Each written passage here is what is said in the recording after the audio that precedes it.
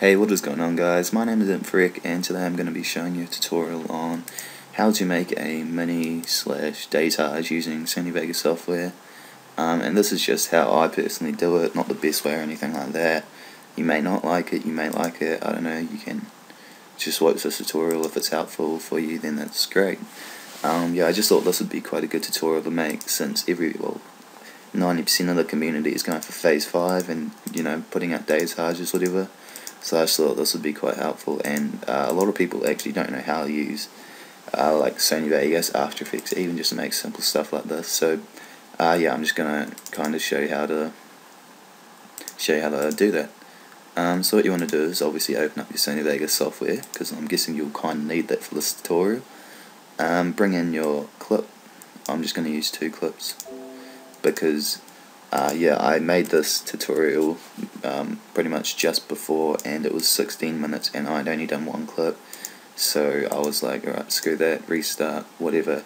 Yeah this is my first ever tutorial so I'm just kind of getting used to speaking to my laptop because it feels a little bit weird. Feels like I'm just talking to myself which I pretty much am. Um, alright so then just quad feed answer alright don't know just dragged in these clips don't really know what's going on with them. Um, and I'm gonna need to get a new clip because that one had no audio. Quad feed grind alright we're sweet. Not the best clips just some leftovers I had. Okie dokie. Now what we want to do is first of all right click and then go to properties disable resample and untick maintain aspect loss ratio aspect lock ratio sorry my bad. Alright we want to do that for both clips that will just stop ghosting or warping on your clips which makes it look quite bad. So you just want to do that. Also you want to come down here right click on the audio not the video this time. Method classic lock to stretch. That'll stop it from distorting the audio. Like if I drag that out um, the gun sounds the gun sounds are I don't know if you can really hear that but the gun sounds are distorted so what you want to do is properties, classic, lock to stretch, and then that'll just uh, smoothen out the audio if you slow-mo the clip. Okay, started off because I really don't want this to be over 20 minutes, so I'm just going to get straight into it. What I like to do at the start of my edits is I just drag in uh, my black bars, which I'll put a download link in the description, um, unless I forget, then obviously I won't, but remind me and I will. Um, and also you want a song so you can just chuck in any song you want. Um, I'm just going to chuck in uh, Lana Del Rey. Oh, no that's going to be copyrighted so I'm not going to chuck that in. Coven More Than You alright there we go. So get your song. And what you want to do for your song if you import just an mp3 that's fine. You're just going to have that bar. But I this is a video because I download videos to keep better quality. So um what you want to do is just press U on your keyboard and that just uh, splits like the two well splits the one layer into two different layers and then just press oh not that delete on the video and there we go sorted. Alright then just make a new track if you haven't got one. Oh still got the stuff from the last tutorial my bad. Okay um, alright what you want to do is just create a new audio layer and I've already got one but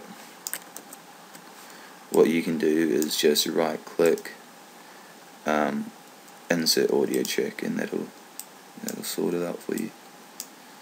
Okay so I've got my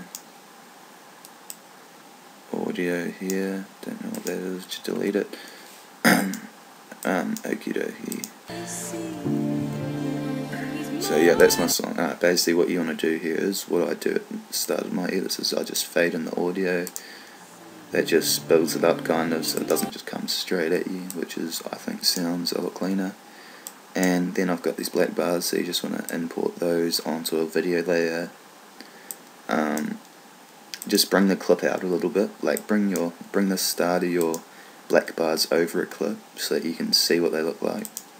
Then you can just click on this event pan crop button uh, drag them in to make them smaller. I want them about like that. Then just drag it back to the start and just extend it. But my video is going to be pretty short anyway. Okay, so now we've got my black bars, we've got my music in, and now we're going to start on these clips. So uh, what I like to do now with my um, with my montages is I just like to slow-mo the clip. I used to sync every shot to a beat and it ended up taking too long and it was just kind of a waste of time because I only got like 40 views on the video. So I now just like to um, slow-mo my clip throughout the whole thing and I think it sounds right as well. So basically what you want to do is just click control on your keyboard and drag it out. Um, if you haven't split the layers, like pressed U, then they'll be the same. So if you drag one, the other one will follow. But like over here, if I split the layers, if I drag one, the other one won't move. So you just have to drag that one out as well. Just Control Z to reverse that. Alright. So now we've got a slow mode clip here.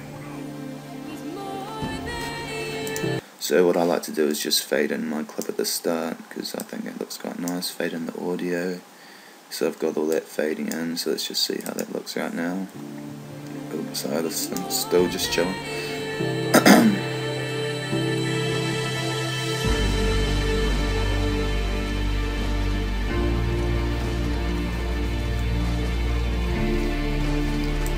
okay, sweet. Now what you just want to do is come up here insert a new video track by right clicking on a previous video track and then insert some uh, go into your plugins uh, for text. This is where mine is. If you just started with Vegas they'll probably be down in one of these little tabs here.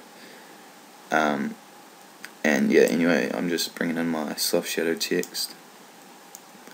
And then you just change it to what you want. So I'm just going to say daytage and just select that. Just I'll check on one of my favorite from my favorite font sorry. Put that on um, I want my text to be white yep and effects I want it to be uh, that should look about alright. Can't see it at the moment. Alright that's alright that's looking a little clean at the moment. Okay so what I want to do is just put my text about started about there. And uh, I just want to make a keyframe so it means it's going to change from one keyframe to another. So my first keyframe uh, oh yeah and to do this you just you know click on event uh, pan crop button and you'll be in here click on this top uh, tab thing here whatever you want to call that and I just want to drag this out so my text starts small go to the end of the text um, clip thing and drag it in to about there. So basically, from the first keyframe, it's going to be small to the last one, it's going to be big. And then I just like to add in a different effect, so just come over here to your, your video effects, panel, wave, large wave, just drag that on. And as you can see over here, it just puts a little bit of a wave effect on your video. And I'm just going to animate which means keyframe it pretty much. Um, for, from my first point I want it to you can just copy down these settings if you want. Just pause it whatever that's what I want it to look like and then you go to the end of your video um, I'll go one one frame backwards so you can actually see it I want to make it almost normal so that it's pretty much like doing a wave.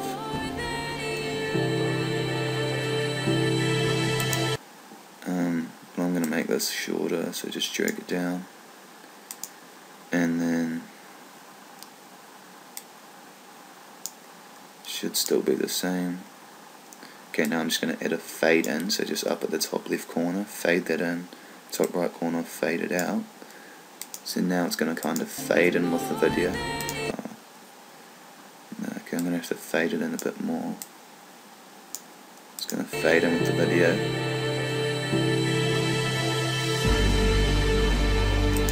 Yeah, that looks a little bit choppy, but you know, you can just experiment with that. That's what I like to do the start of my daytages. Okay, sweet. What are we doing for time? Nine minutes. Alright, better wrap this up soon.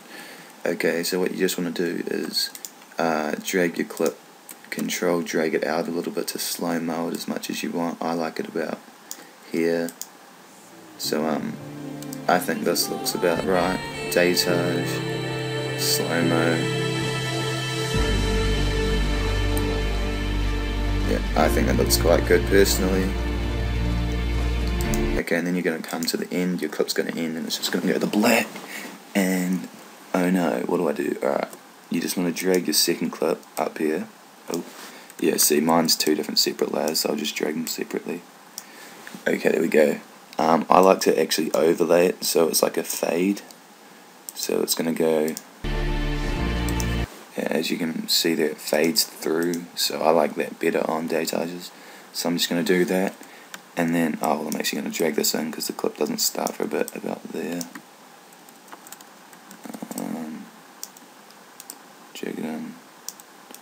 Drag that in. Can, oh, what am I doing? Alright, I control Z so that just slow mode it. Alright, there we go, sorted. Okay, now I'm just going to overlay that a little bit, just for a fade, and then we're going to go on to the next clip. And that has no slow-mo, so you just control drag out your one clip, but you know, mine's split, so I'm going to have to do it on both. And then, um, I just think this looks pretty good when you just a little fade and then slow-mo. Oh, I actually missed half of my clip. I already got a collat. So that's just basically back to back collats. Alright, there we go. So that's um pretty much how I do it. And also I like to not well so I guess it's kind of a CC, not really, but just for my daytages I just I like to go onto video effects panel and go to levels and then go scroll down Studio RGB to Computer RGB and if you drag this onto one clip it will just apply to the one clip. So it's applied on that clip not on that one so just delete that. Um, what you want to do is apply it to the whole track. And it just like darkens it up a little bit. I think it looks better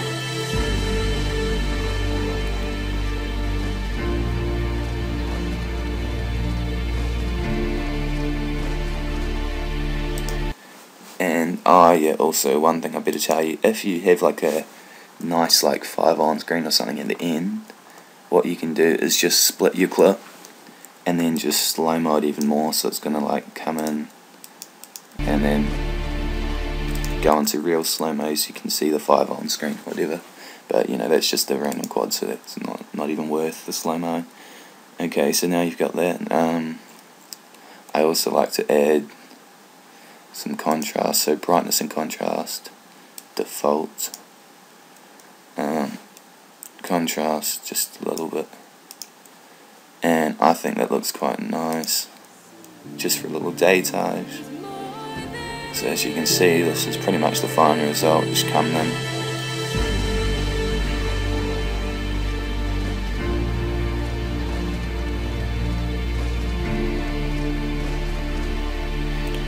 in. as that clip fades, second clip, and then yeah, you can just do that for as many clips as you want, just fade it in, slow-mo, um, and then at the end of your edit, just make sure to drag the song down to where your edit finishes and just fade it off, because I think that's better than it just cutting straight out.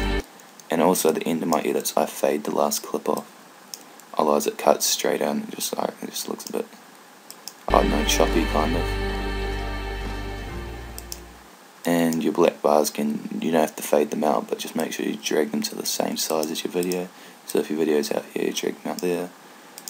Um, alright so I'm pretty sure that everything I wanted to talk about now you just have to render. So if you don't know how to render you just want to click up uh, up around here highlight your uh, your whole video uh, click file render as and this is basically just going to allow you to render this to a video format. And I like to choose uh, Windows Media Video.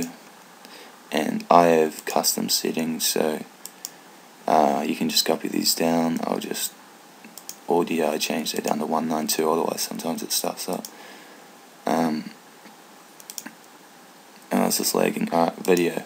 So you can just pause it copy down those bam, copy that, mm, not really anything in there, and yeah, so if you just want to pause copy those, you can if, if you like to, and then I just, you name it what you want, choose where to save it, I normally just save it into videos or whatever. Just call it J, I don't know, Jetty or uh, well, if that's what you want to call it. And then better into settings, that's what I called my um settings. And then just render and it, uh, yeah, should I guess depending on your computer it will be fast or not. Um, I don't know. But yeah, so hopefully this tutorial was helpful to you guys and if you want to know anything else just post it down in the comment section, anything to do with video editing I'll try my best to answer. If not I'll look up a tutorial myself and remake one if that's what you need. Um, yeah, so hopefully you guys enjoyed this video. Uh, you know, like and comment if you think it was deserving and, you know, feedback is always welcome and appreciated. So thank you very much. My name is Ian Inforic and peace out.